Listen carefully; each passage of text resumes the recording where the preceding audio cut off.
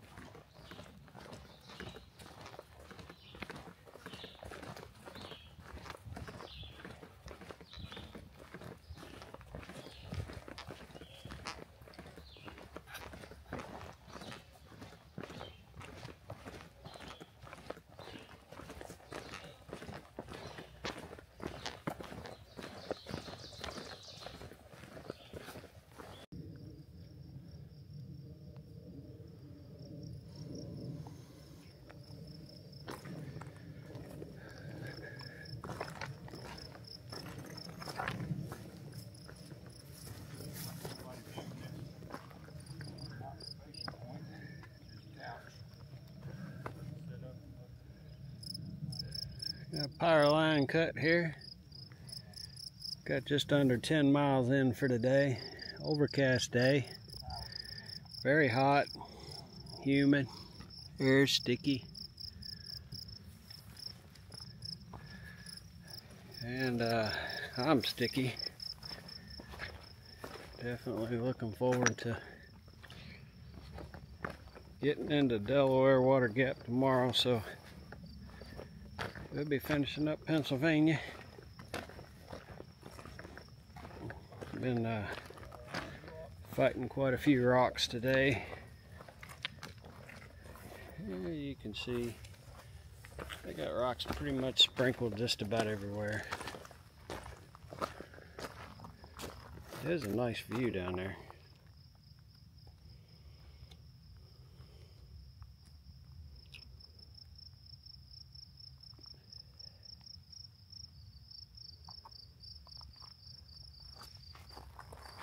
They're back into the woods.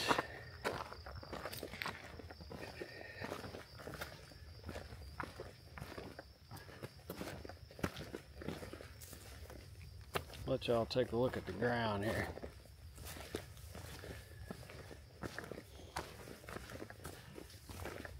This is, uh, I know these don't seem terrible, but after about 15 miles of it, it's pretty rough.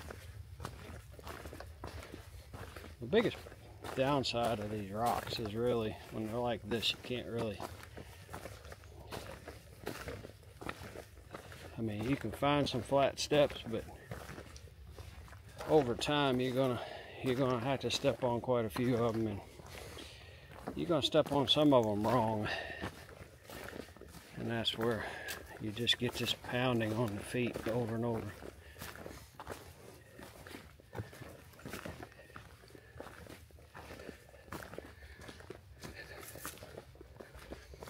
You, you can see Bandit up ahead there. He's he's out there negotiating them and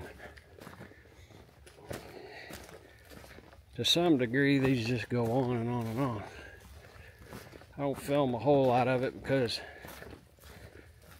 candidly you gotta you gotta keep your eyes peeled and make sure you make a good step so it's good to have the poles on standby in case you get off balance or whatever but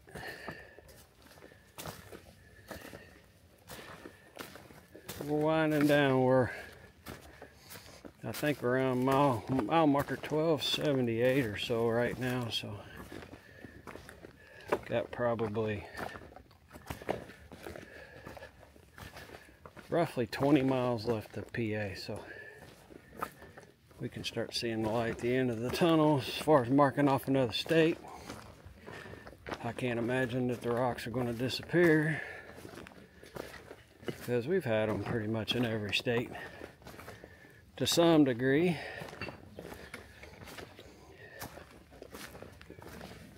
But uh, we kind of knew they were coming in PA, so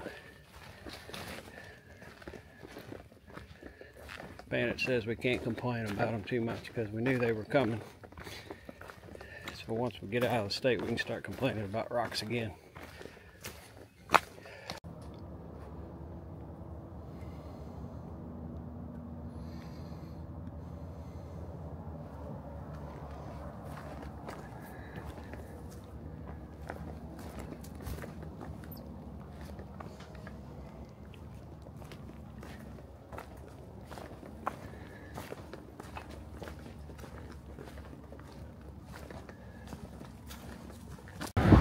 Look at the skies, folks. We're in uh, Wind Gap, PA. Uh,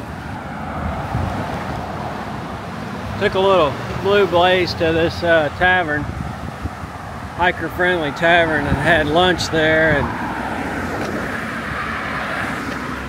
sorry for the road noise. We're getting ready to get a storm getting ready to roll through, but uh, the uh, the owner of the tavern is actually going to let us stay out on the deck after uh, the customers uh, they close down at nine o'clock. And there's electrical outlets out there. I mean the generosity.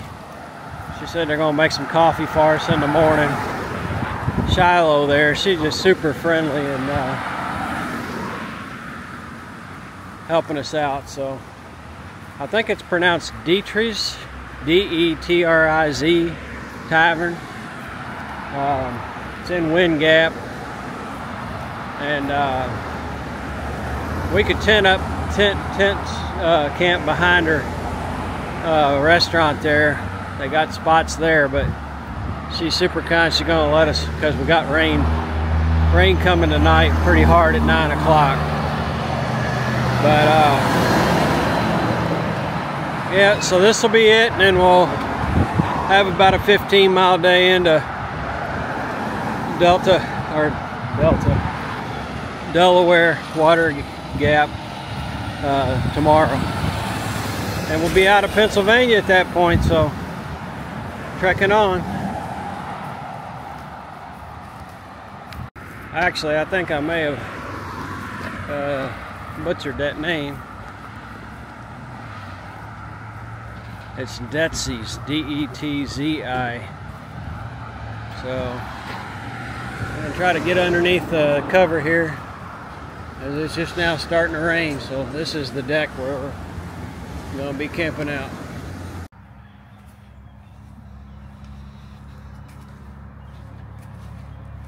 All right, we still Detzi's Tavern. Had a good meal. I'm gonna have to deal with this traffic no noise tonight, but uh, I guess beggars can't be choosers. There's about a 40% chance we might get some more showers. They had a pretty good shower roll through earlier. You can see the the puddles in the parking lot. So we're thankful we didn't uh, venture back up in the woods after our uh, trip down into uh, Wind Gap. So they'll get here uh, early tomorrow and there's a possibility we might get a ride out of here. So uh, we're excited about that possibility to get a ride back to trail, which is just about a mile and a half away. So not a big deal if we have to get out and huff it, but We'd rather be out on the trail covering miles if we can, and we're going to get on into Delaware Water Gap. Um, we'll be staying overnight there and picking up some new shoes on Saturday. So, um, but uh, yeah, it's a. Uh, I'll I'll get some footage of the deck in the morning, the porch that we slept on. Uh, got some people out there eating right now, so I don't, I don't really want a video them right now, but uh, uh, this will be home for the night. Appreciate you guys uh, tuning in and subscribing, and uh, it'll be the uh, probably one of the more interesting places that we've stayed. But uh, we get to get all of our electronics charged, and we get to also cover in case in case we get rain, and then It'll be nice enough to make us some coffee in the morning, which is super duper nice, and get to use uh, their facility. So it's very nice of them to, to allow us to do that. We're very thankful. So we'll see you down trail.